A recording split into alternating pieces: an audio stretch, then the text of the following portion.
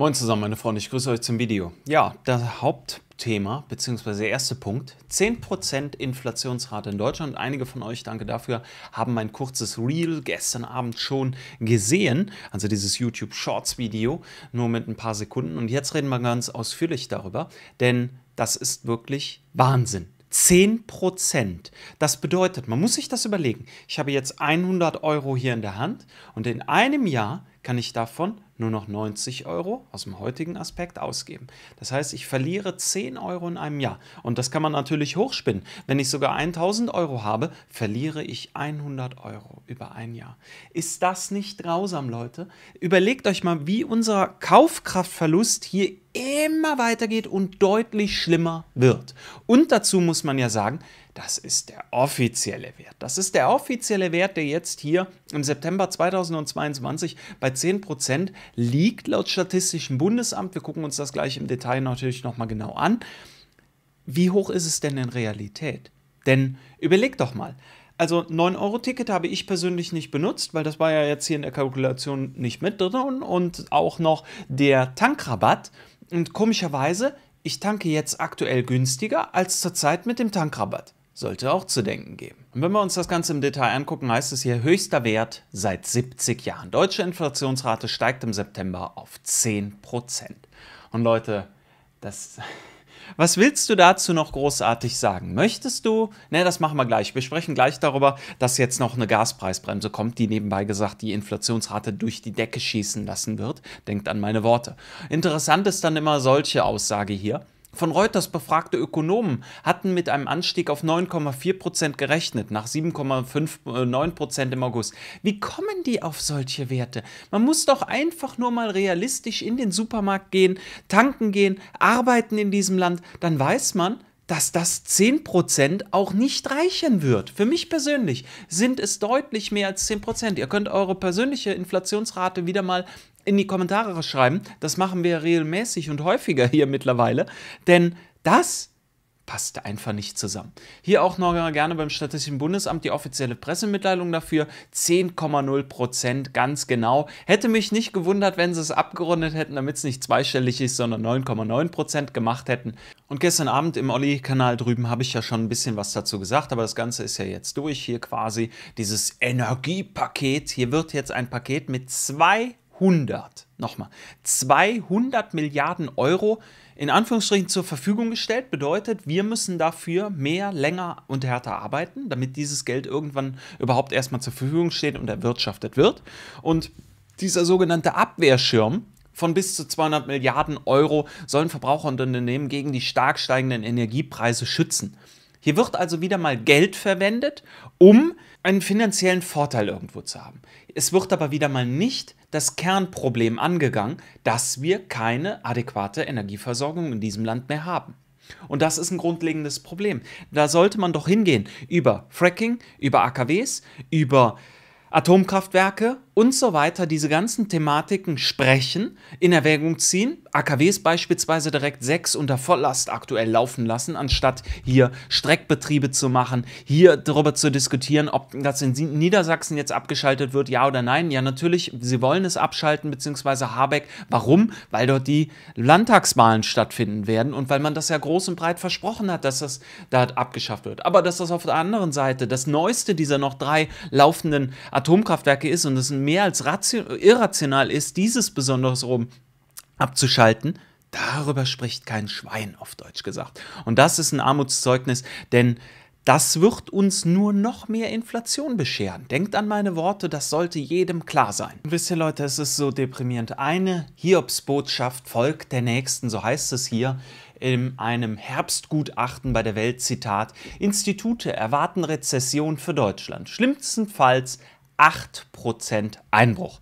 Ach, das ist aber überraschend. Habe ich nicht gerade vor ein paar Wochen noch ein Video darüber gemacht, als es von diesen angeblichen Experten hieß, hm, 2 bis 4 Prozent? Jetzt auf einmal sind wir schon beim Doppelten oder sogar Vierfachen bei 8 Prozent angekommen. Ja, wartet mal ab, Leute. Denn ich erkläre euch gleich, warum ich fest der Überzeugung bin, dass äh, hier auch die 8% nicht ausreichen werden. Hier heißt es nämlich, in einem Herbstgutachten erwarten die führenden deutschen Forschungsinstitute für dieses Jahr nur noch ein Wirtschaftswachstum von rund 1,4% In Ihrem Risikoszenario veranschlagen Sie für 2023 einen Konjunktureinbruch um 7,9 Prozent. So, und dann heißt es nämlich hier unten weiter, sowohl einkommensschwache Haushalte als auch Unternehmen sind deshalb auf weitere Unterstützung der Politik angewiesen. Ja, großartig. Da soll die Politik, sprich der Bürger, der Steuerzahler wieder hingehen und irgendwelche anderen Leute irgendwie finanziell unterstützen. Das kann doch nicht die Lösung sein. Wann werden denn endlich mal auch bei diesen Instituten die angeblichen Experten dazu aufrufen, dass die Politik schwachsinnig ist, wie sie gerade gemacht wird? Denn überleg doch mal, was was für Folgen daraus einfach kommen. Weil, wenn wir uns nämlich angucken, die sagen ja hier zum Beispiel, die hohen Energie- und Lebensmittelpreise, die im kommenden Jahr weiter ansteigen dürften, sorgen für deutliche Kaufkraftverluste. Aber das ist doch nicht alles. Da wird immer wieder diese komplette Verflechtung der gesamten Lieferkette meiner Meinung nach außen vor gelassen. Soll heißen, ein Produkt X wird hergestellt, da muss es aber auch transportiert werden, die Rohstoffe müssen zuerst angeliefert werden, etc. pp. Wird dieses Produkt nicht mehr hergestellt, haben die folgenden Unternehmen, die eigentlich mit dem Transport beispielsweise, mit dem Vertrieb, mit dem Verkauf und so weiter, allem drum und dran involviert sind, auch nichts mehr zu verkaufen, nichts mehr zu tun. Und dann sind diese 8%, die hier angegeben werden, selbst die schon nicht mehr realistisch. Das ist dann mal ganz schnell 15, 20, vielleicht sogar 30%. Also Leute, es wird nur noch viel schlimmer. Oder sehe ich es falsch? Gebt mir Hoffnung. Ja, dann kommen wir uns, wir drehen uns immer wieder im Kreis in diesem Kanal zu einem ganz altbewährten Material dieser Erde, was nur begrenzt verfügbar ist, zurück. Das nennt sich Gold. Ganz klar, deutsche Privatanleger decken sich mit Gold ein, hieß es bereits vor ein paar Tagen schon und der Artikel könnte heute nicht passender sein. Der Goldpreis ist zuletzt stark unter die Marke von 1700 Dollar gefallen. In Deutschland nutzen viele Anleger die Preisschwäche, um Barren und Münzen zu erwerben. Und ich möchte euch nur zwei Punkte als kleine Gedankengänge, die ich jetzt habe, mal mitteilen. Das ist erstens der Punkt, die Weltbevölkerung wächst. Dementsprechend gehe ich persönlich auch davon aus, dass eine größere Nachfrage nach Gold in der aktuellen Zeit besonders und auch in den nächsten Jahren existieren wird. Das ist ein begrenztes Gut, ein Punkt. Der zweite Punkt, wo kommt Gold her? Das kann ich jetzt leider nicht irgendwo draußen auf der Straße finden, außer jemand hat seine Münzen oder Barren dort verloren. Das ist unwahrscheinlich. Es wird in einer Mine abgebaut in der Regel. Das heißt, dafür wird viel Energie, Treibstoff und so weiter verwendet, je nachdem, wo es abgebaut wird.